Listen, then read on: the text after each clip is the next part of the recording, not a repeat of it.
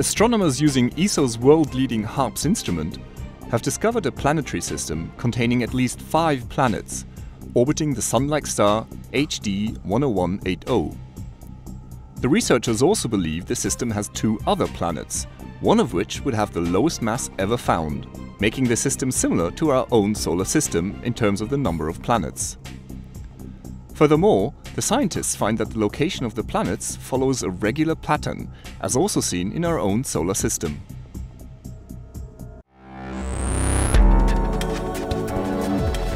This is the ESOcast, cutting edge science and life behind the scenes at ESO, the European Southern Observatory, exploring the ultimate frontier with our host, Dr. J, aka Dr. Joe Liske.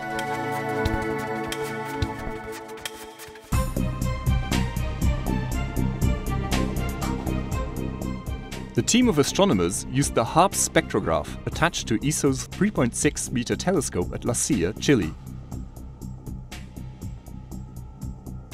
HARPS is an instrument with unrivaled stability and great precision, and the world's most successful exoplanet hunter.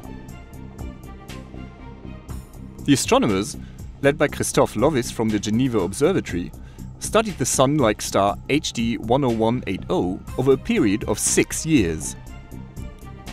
This star is located 127 light-years away in the southern constellation Hydrus, the male water snake.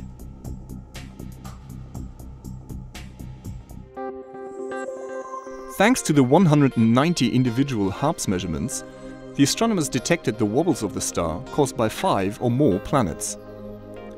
The five strongest signals correspond to planets with Neptune-like masses, between 13 and 25 Earth masses, which orbit the star in between 6 to 600 days.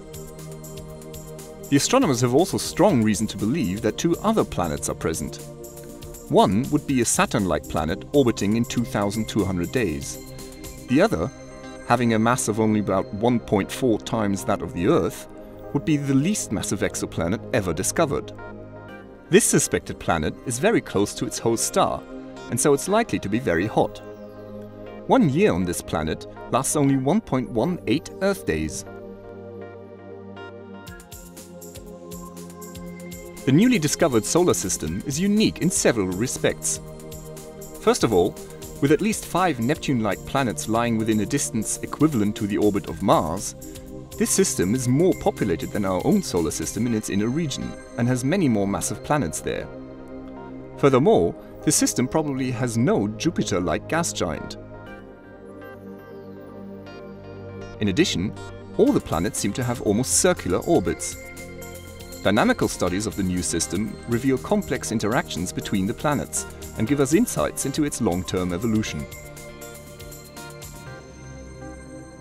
Using the new discovery as well as data for other planetary systems, the astronomers discovered that the locations of the planets seem to follow a regular pattern, similar to the Titius-Bode law that exists in our own solar system. This could be a general signature of how planetary systems form. Another important result is that all very massive planetary systems are found around massive and metal-rich stars, while the four lowest mass systems are found around lower mass and metal-poor stars. These properties confirm current theoretical models. There is no doubt that this remarkable discovery highlights the fact that we are now entering a new era in exoplanet science the study of complex planetary systems and not just of individual planets. And with HARPS, European astronomers will be a driving force behind this transition.